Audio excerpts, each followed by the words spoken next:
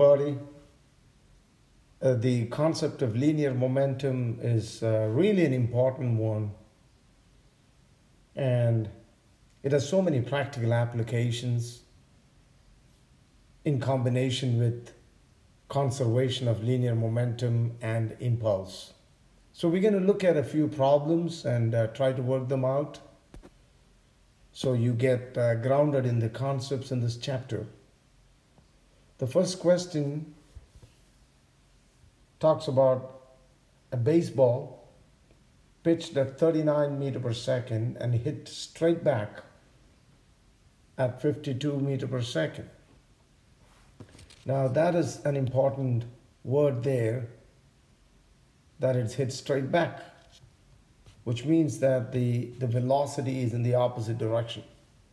The time of contact between the bat and ball is given, and uh, we have to calculate the average force between the ball and the bat during contact. So, impulse can be defined in two ways one, it's the product of average force and the time of action. And the other is it is the change in momentum. So that is where you have the change in momentum coming in because mass times velocity is momentum. So mass times final velocity, take away mass times initial velocity is the change in momentum.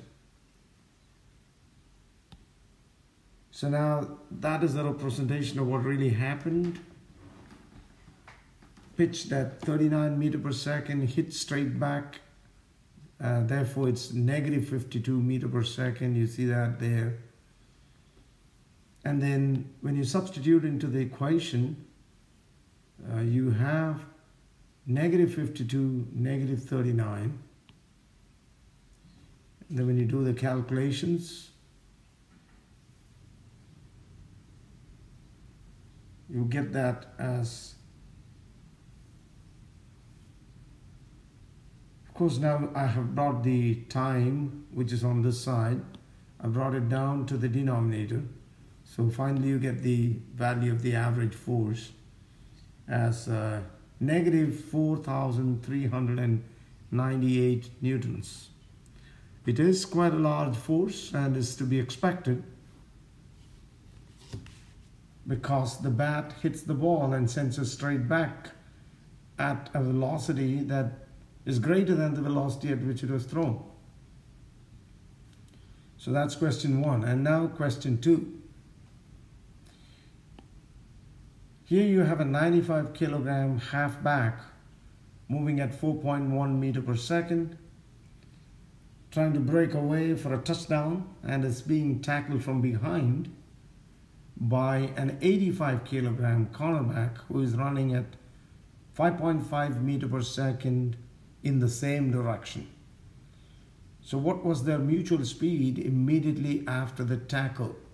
So when you see the word mutual speed, you understand that the cornerback held on uh, to the halfback and they are moving together. So after collision, they only have one velocity which is the common velocity with which both move forward. Now this question has to be tackled using the principle of conservation of momentum because it is a collision.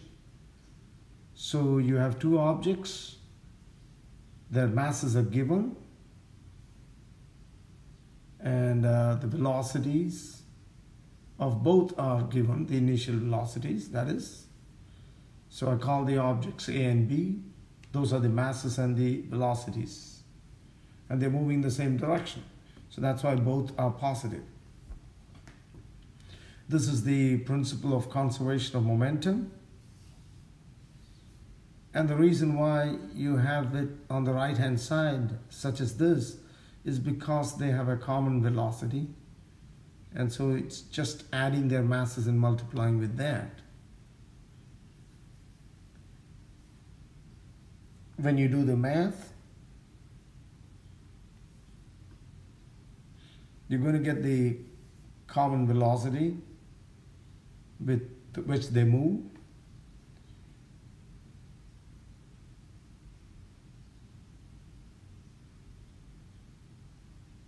And that turns out to be 4.76 meter per second which is acceptable because it has to be between the velocities of the two which was remember 4.1 and uh, 5.5 so that is an acceptable result which takes us to the third problem In this problem, you have a 9300 kilogram box car traveling at 15 meter per second, striking a second one which is at rest, and then the two stick together and move off with a speed of 6 meter per second. What is the mass of the second car? This is exactly similar to the previous problem, except that um, you have to find the mass of the second car. Once again in this question, both of them stick together. So these are the given quantities. Uh, this velocity is zero because the second boxcar was at rest. Once again, they have the same final velocity.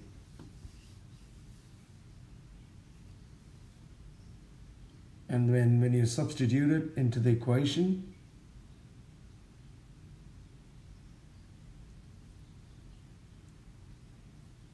and calculate, you're looking for the mass of the second box car. So got to separate that. And uh, you get the mass as 13,950 uh, kilograms. Here's the fourth problem. In this problem, you have a 3800 kilogram open railroad car that is coasting along with a constant speed of 8.60 meter per second on a level track. Okay, so that's an important word. It is on a horizontal track. And snow begins to fall vertically. So that's again important because we know that vertical and horizontal do not affect each other. So the snow falling uh, into the railroad car does not actually constitute an external force, it's just an internal force. And so the snow begins to fill the car at a rate of 3.50 kilogram per minute. And uh, ignoring friction with the tracks, what is the speed of the car after 90 minutes? So basically, after 90 minutes, the mass of the uh, railroad car would have increased because it's going to get filled up with a lot of snow. So we have to find the mass of the snow that's uh, filling the car after 90 minutes. So we have the initial mass and the initial velocity. And uh, the mass of snow filling is of course uh, 3.50 times 90 which gives us the mass that is to be added. Uh, that is 315 kilograms. So the new mass of the railroad car is going to be 3800 plus 315.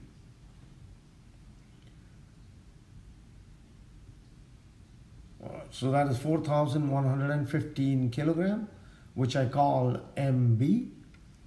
So according to the principle of conservation of momentum, the momentum before should be equal to the momentum after. So the original mass times the original velocity should be equal to the new mass times the new velocity. From which we find that the, the new velocity is 7.94 meter per second. That is how that problem or any of this type would be done. Here is the fifth question. A 23 gram bullet traveling at 230 meter per second penetrates a 2 kilogram block of wood and emerges cleanly at 170 meter per second. And the block, if the block is stationary on a frictionless surface when hit, how fast does it move after the bullet emerges? Important here is it's a frictionless surface. Which means that there are no external forces acting. Because the conservation of momentum can be applied only when there are no external forces acting on the system. And so you have the system of the bullet, which is the first object, the second object is the block of wood. And initially the block of wood is at rest. So its momentum is zero. And so this is a simple case of uh, just applying the formula. The grams have to be converted into kilograms. Uh, the velocity of the bullet, which is object A, is 230.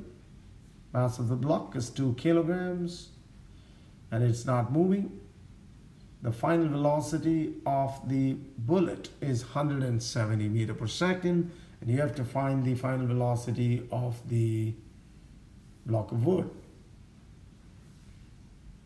So apply the principle of conservation of momentum and then uh, work it out as before. I'll speed that up because it's simple substitution there. Just got to be careful about that. Rearrange and calculate. When you do that, you're going to get the final velocity of the block of wood as 0.69 meter per second. So I just cleaned that up. 0.69 meter per second is the final velocity.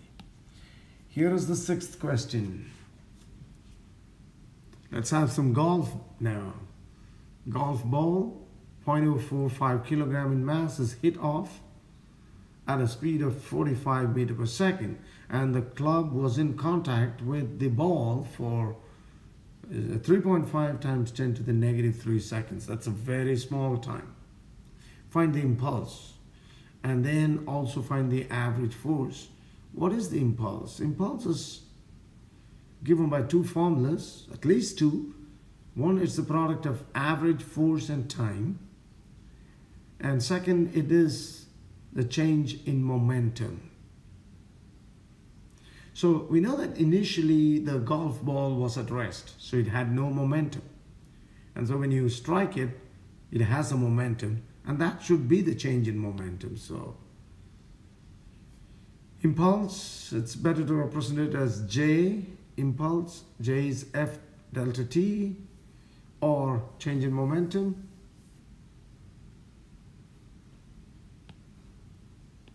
Now, in the first case, I've used change in momentum to find the impulse, and I got it because you have the mass, you have the initial and final velocities. So that's the change in momentum, which is the impulse. Now use the other formula for impulse, which is impulse is equal to the product of average force and time. So that is the impulse which we already got. Plug those numbers into the equation and get the force as 578.5 newtons. So that is how we do that problem. Number seven,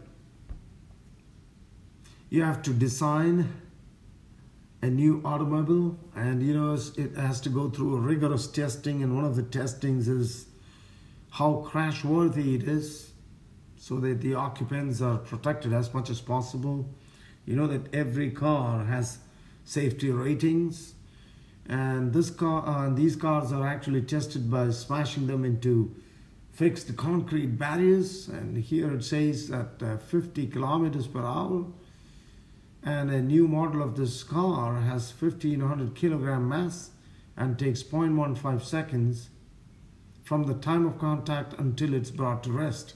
Calculate the average force on the car and calculate the average deceleration of the car. Pretty simple. Once again, we can use the formula for impulse. But here are the quantities given. 1500 kilogram is the mass of the car. Uh, we never use kilometers per hour, so you've got to change into meter per second. And an easy way of doing it is by multiplying by 5, dividing by 18, which is a simplification of 1000 by 3600. Final velocity is zero because it's brought to rest. So and the time is given. So calculate the force. The two formulas for impulse are F delta T or change in momentum. I put both equal to each other. Rearrange. This is actually force is mass times acceleration. Maybe you notice that. So direct and uh, simple question again. Now to find the deceleration all we've got to do is use the formula net force.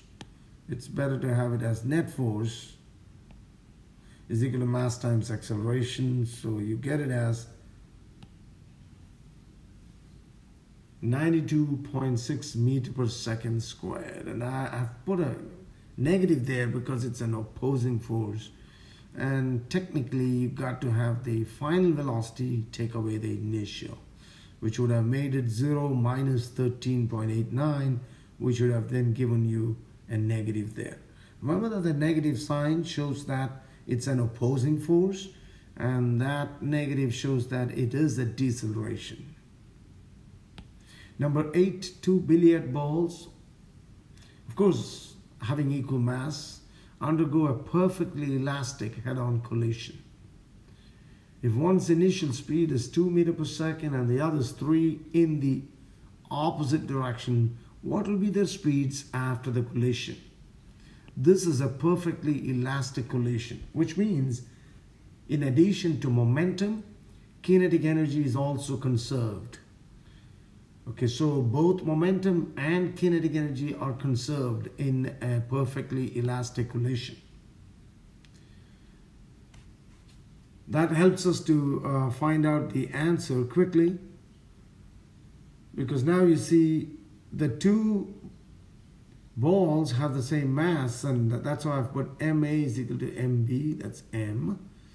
And because it's a perfectly elastic collision, we can use this formula which is the difference in their initial velocities must be equal to the reverse difference of their final velocities. Why do I say reverse difference?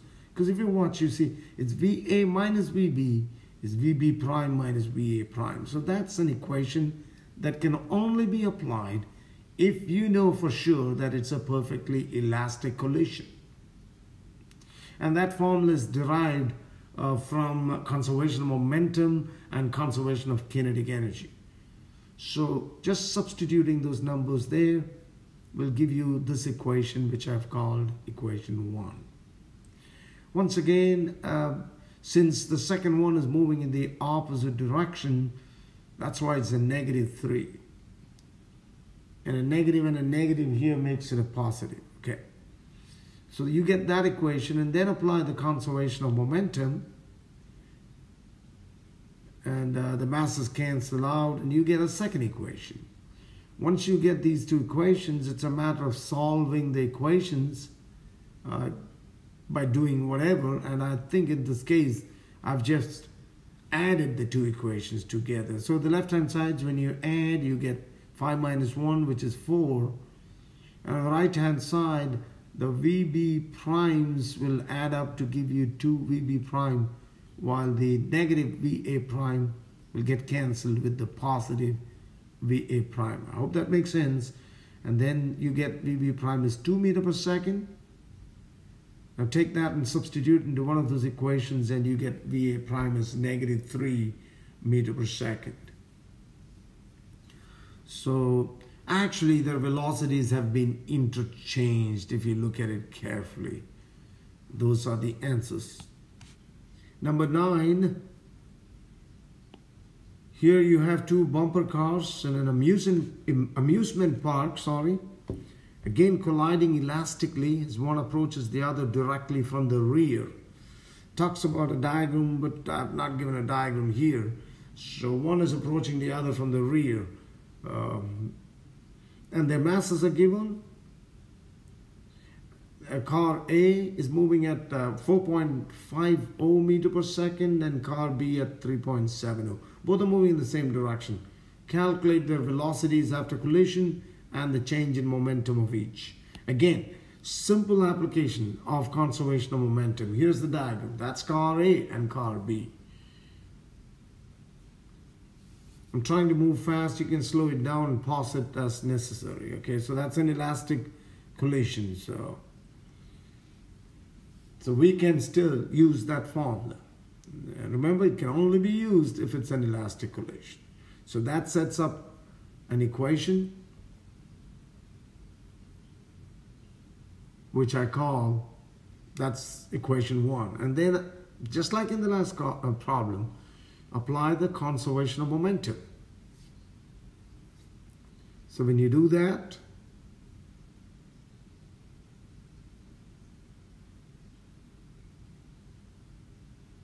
Now that is 450 times uh, 4.5 and 550 times 3.70.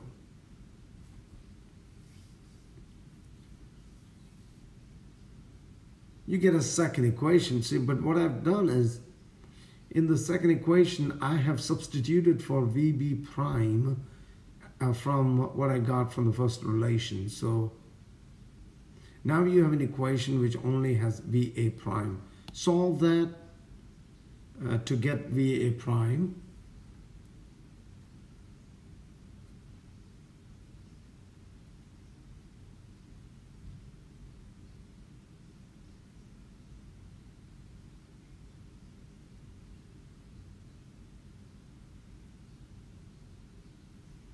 Once you get VA prime, substitute back into this relation uh, to get VB prime. So that's how that question is done. Brings us to number 10. Uh, this is a very important question because it has so many concepts coming in. And uh, before the computer era, this is how the, this is one of the methods of finding the velocity of a bullet as it comes out of a rifle or a gun. They would just shoot the bullet into a hard wood uh, pendulum, you know, so and see uh, that the bullet gets uh, gets stuck in the pendulum, and then the pendulum, together with the bullet stuck in it, would swing up. And uh, by measuring either the angle made with the vertical or the height by which it is displaced, you can calculate the velocity of the bullet. In this problem, you are asked to find the vertical and horizontal components of the pendulum's displacement. Given the mass of the bullet, given the speed of the bullet, the mass of the pendulum is given and the length of the string is given. A diagram should make it clearer. So that's the pendulum. That's where it was before it was hit by the bullet and then after it uh, swings up and goes to this position. So that is the vertical displacement and this is the horizontal displacement. I called it X and Y. So the mass of the bullet in kilograms, its velocity, the mass of the pendulum, and initially it was at rest. And uh, finally, after the bullet gets stuck in it, both of them together begin to move up with a certain velocity. So their velocities are equal. Their final velocities with which the pendulum and the bullet together begin swinging up are equal. So that's why I said VA prime is equal to VB prime. And then apply uh, the conservation of momentum and uh, the application of that will help us figure out that common velocity.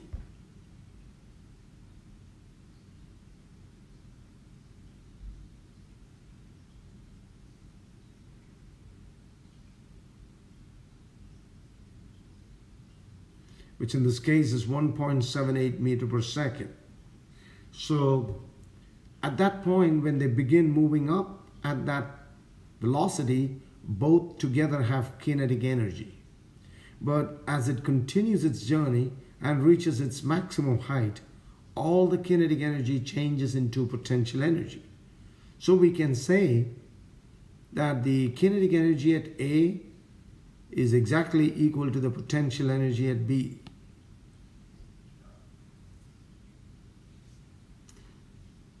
Now once we do that, we'll be able to figure out the vertical displacement y or h as you may like to call it. Kinetic energy is one half times mass times velocity squared. Remember that this mass is the total mass of the pendulum and the bullet, which gives you the vertical displacement. Now once you have the vertical displacement, you look at this right angle triangle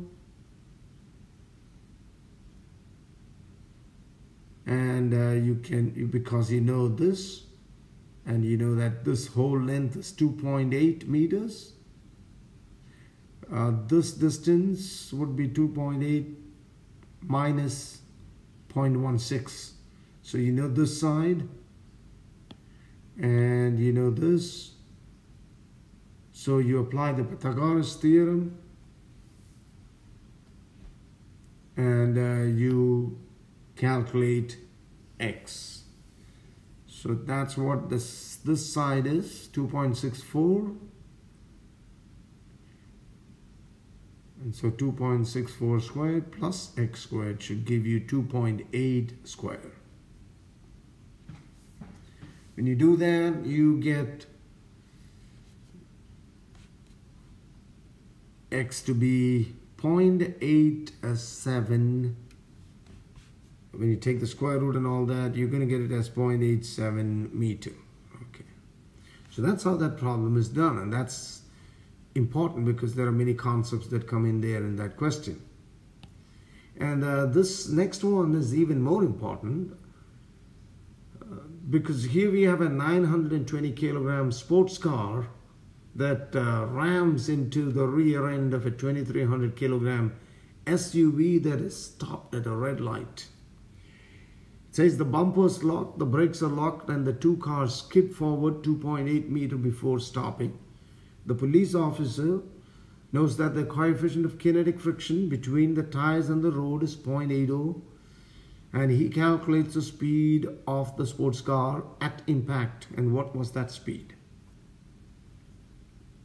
So first of all there is collision here and uh, using the conservation of momentum we should be able to figure out the velocity with which both of them together begin moving. But let's try to do that and then you will see that there will be two unknowns there. These are the masses. Velocity of the sports car is unknown, so A is the sports car, B was at rest. And uh, the force that is responsible for stopping them afterwards is friction. And we know that friction is given by mu Fn, in fact mu k Fn. And uh, Fn in this case is mg because the normal reaction in this case is simply, uh, you know, so if you have that, because it's a surface, and if you have an object there, the weight acts vertically down and the normal reaction acts vertically up and they're both equal. So weight should be equal to normal reaction. So Fn not N but Fn okay.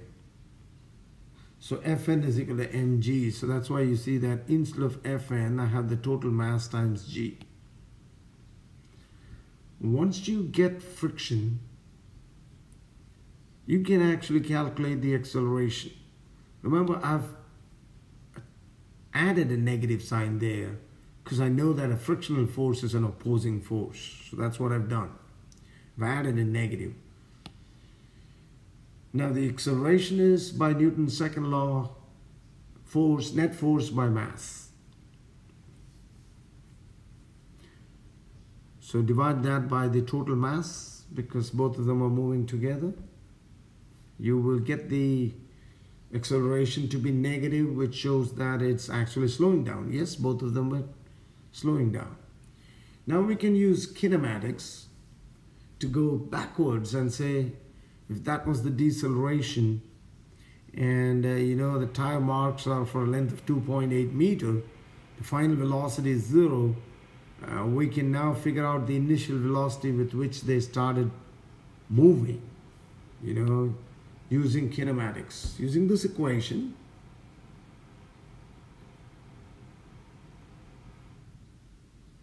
and carefully substituting that and calculating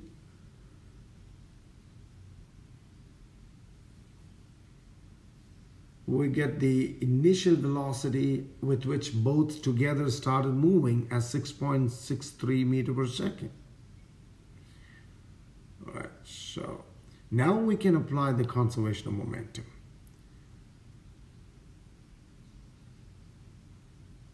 Which is this, and remember both of them are moving together, so add their masses times velocity with which they begin moving, which is 6.63. So if you plug that number in here, knowing everything else, we'll surely be able to calculate VA, which is the initial velocity of the sports car,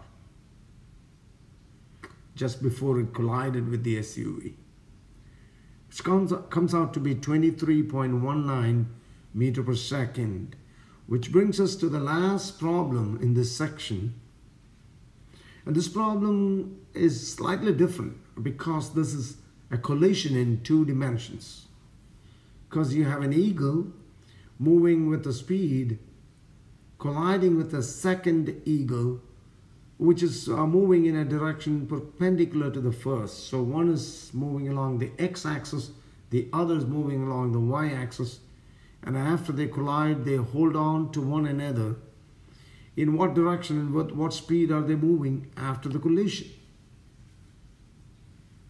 So that is the diagram. So both moving perpendicular to each other, 7.8 and uh, 10.2.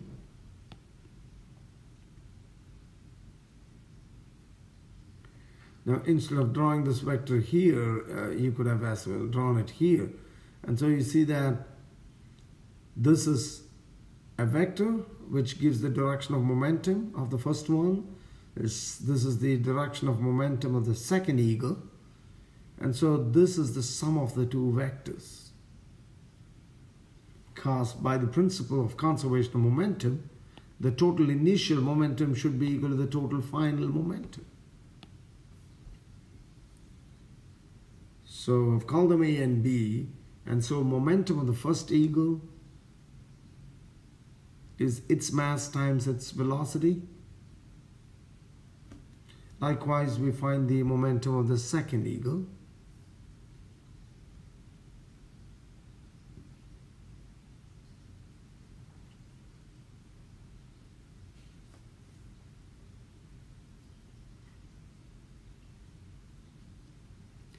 Once you get those two vectors, we know that the final should final momentum should be the sum of the two and definitely this one is just the square root of the sum of the squares. But uh, that final momentum must be the product of the total mass times the final velocity.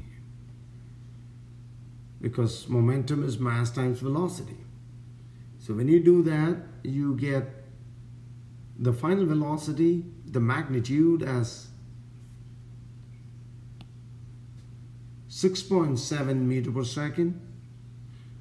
But then you got to find out the angle at which they go off after the collision. And to do that, you just take tan theta, because tan is opposite side by adjacent side.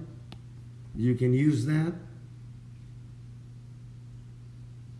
which is PB by PA, excuse me.